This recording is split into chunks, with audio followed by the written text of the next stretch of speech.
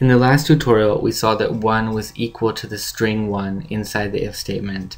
And what we're doing in this tutorial, and I don't even know if you can call it a tutorial, but we're just going to do some experimentation with converting strings to numbers. So let's get started. So we're trying to figure out how the interpreter did this.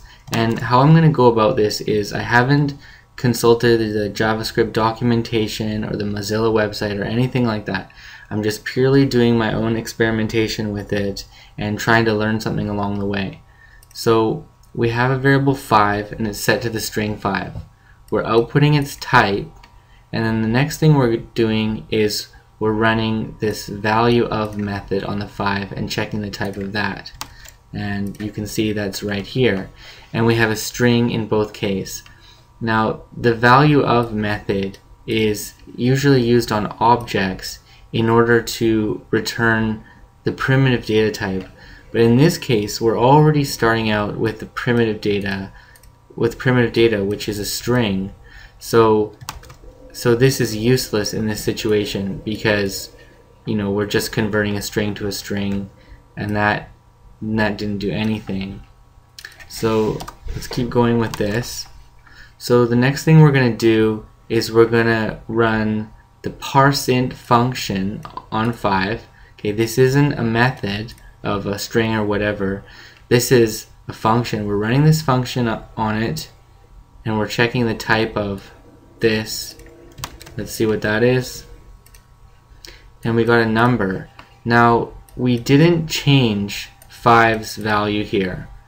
All we did is we ran the parseInt function on this data and then we output it and we can see that. So what we're going to do is we're just going to check the type of 5 right now. And you can see that 5 is a string. So this didn't this didn't change the uh, this didn't change its value. It, we just output uh, whatever running the parseInt function on this did number but we see 5 is still a string. Now what we're doing is we are this parse whatever is returned by this parseInt function on 5 we're putting that into 5 let's do that. And then we're outputting 5's type again. And now we see that 5 is a number. So it was different here because we ran this function and whatever it returned we stored it in 5 so we overwrote 5's value and now 5 is a number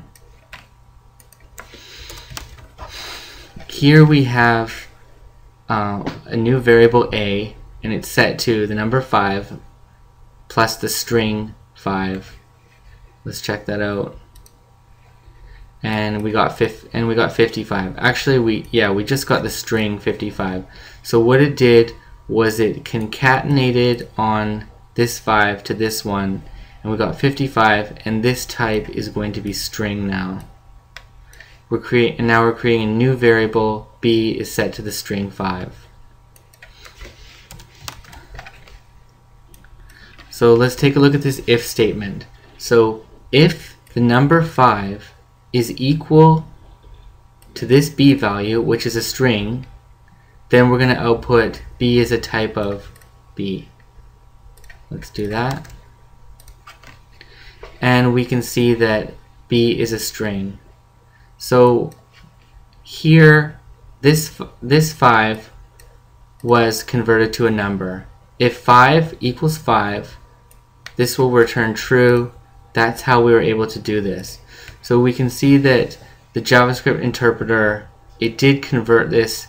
It got the it got the numeric value of this string, put it in here, then this was able to re return true, and then we were able to output this. So what we can see is this, what this JavaScript, what the browser's interpreter did here was very transient. It converted it to a number here, but then we, when we output its type inside, inside the body of this, we saw that it's still a string.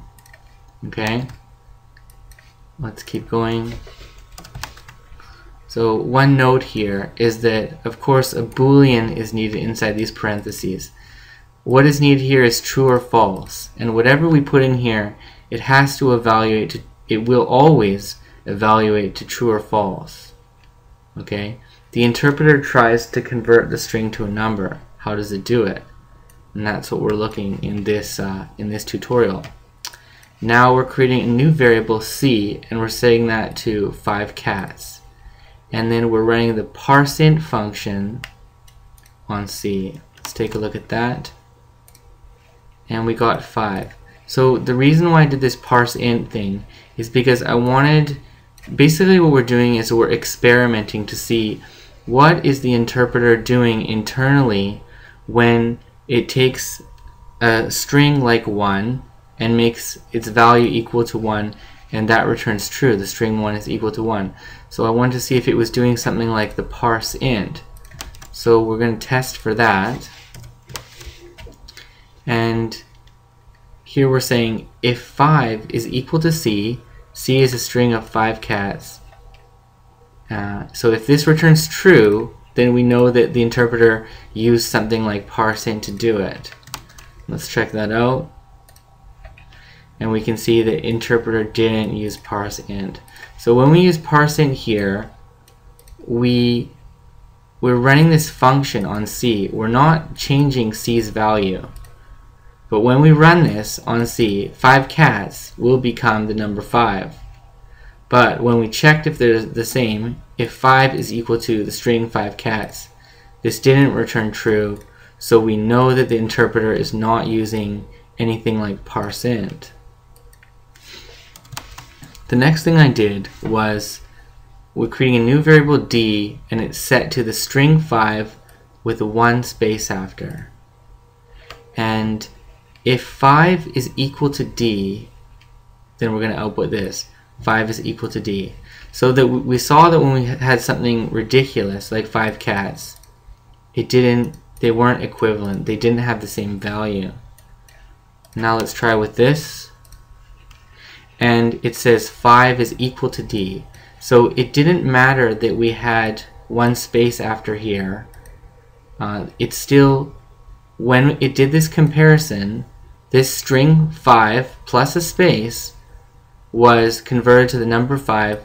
This returned true, and then we output this. We can try adding more spaces on here and running that again, and it still says 5 is equal to D. Okay, let's put that back to one space. The next thing we're doing, very similar, we have E, now we're putting a space in front of it, and we're seeing if this is equal or not. Let's refresh. 5 is equal to D. So it didn't matter if we had some spaces in front, it's still equal. We can try and put some spaces on the back too, and that's still equal. So it doesn't matter how many spaces are in the front or are in the back. This will convert, when it does this comparison, this gets converted to a number and this returns true. In our next example, f is set to the string of 5 space 5.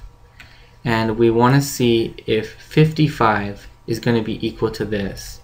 Let's check that out. And here it says 55 is not equal to f.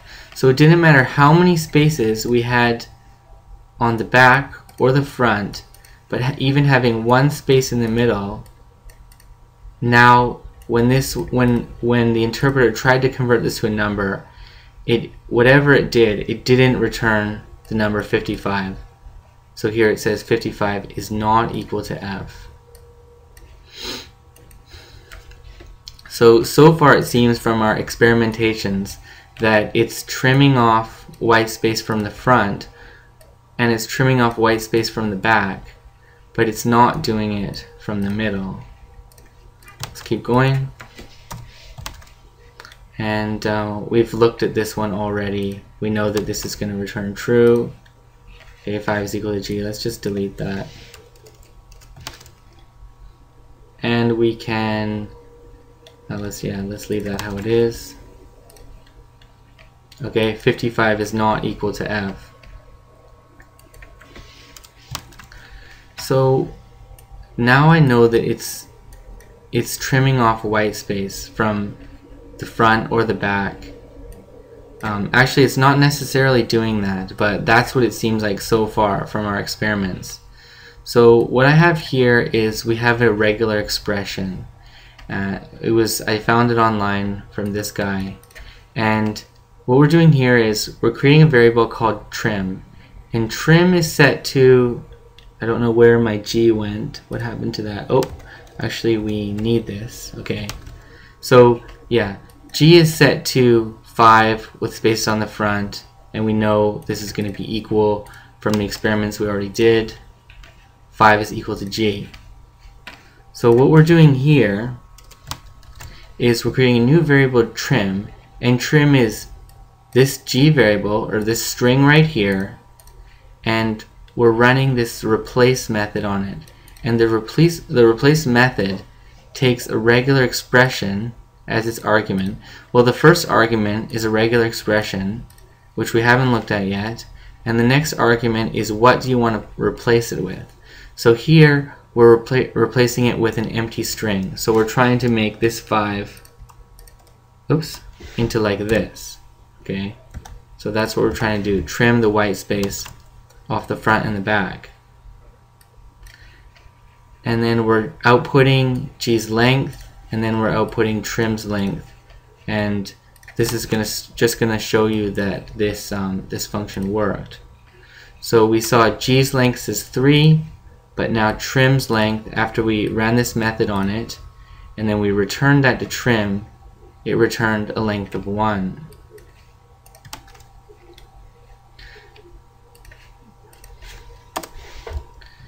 so what I was thinking might be happening was that this sort of thing was happening on the number in order to get rid of whatever white space is going on. We can add some more stuff and we can, and now you can see that, um, let's just uh, comment this out first. So here you can see G's length change, but the, but after we ran this this um, this regular expression on it, this replace method, that the length was 1.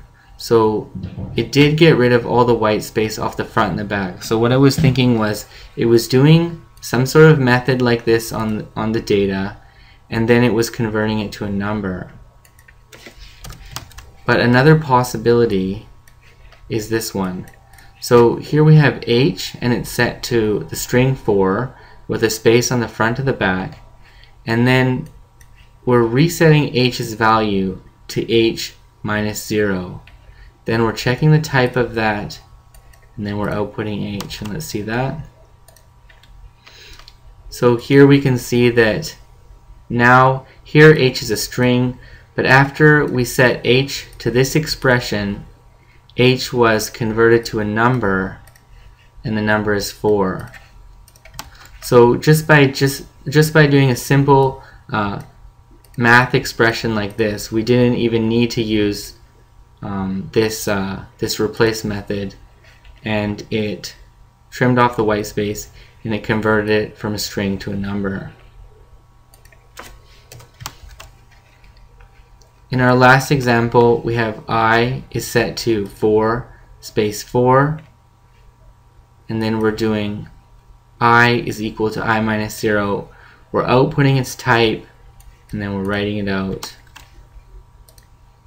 And we got an error. Is it because of this? Okay. So in this case it didn't work. It didn't work when there's a space in the middle. And that makes sense because now this is just turned into a sentence. It's not a number anymore. This is like a phrase. I was set to 4 space 4 I is set to I minus 0 output the type and write it out and we can see that the type of was a number which I didn't believe because how could 4 space 4 become a number? And then when I actually checked the number, we saw that it's not a number. So this is an interesting, interesting thing in JavaScript that not a number, the type of not a number is a number. And I was able to find um, this definition online. So not a number means the specific value cannot be represented within the limitations of the numeric type. And this seemed like a good enough explanation for me, and that was found from Pax Diablo from stackoverflow.com. Thanks for listening.